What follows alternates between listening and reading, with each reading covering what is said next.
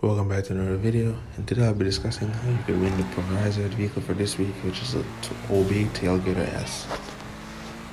This vehicle is not that much impressive, as in the sedans class it's not the fastest, being the newest addition to the game. The Schafter V12 is still the king of the sedans class, but however, you'd have to pay for the Schafter V12 to obtain it if you don't have it already. But for this week, this is for free by completing any street race which came out with the Tuners DLC in the top either first or second in the top two. You have to do that four times in a row, four days back to back, just to get it for free, which isn't too too bad. All you have to do is really host a race, and then once one person joins, one or two persons joins, you quit, you close the race out. So what would you do if you already have the vehicle? Here for the magic touch.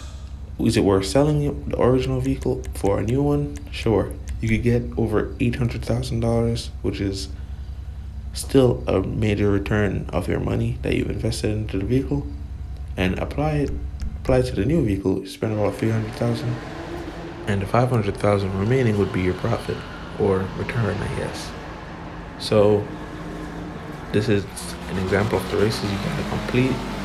You gotta complete the first or second, four days in a row.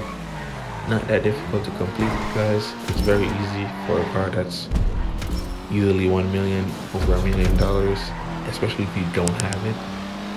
You, sh- you should be able to complete this, or you could host a race. Even, even better, you could host a race. If you don't have none of the vehicles from this DLC, you could host a race and set everything to new custom vehicle. See, there's no excuse, and there's there's a free fair trade-off for everything. There's always a way to make it happen. Um, thank you guys so much for watching. Please like and subscribe. Comment down below.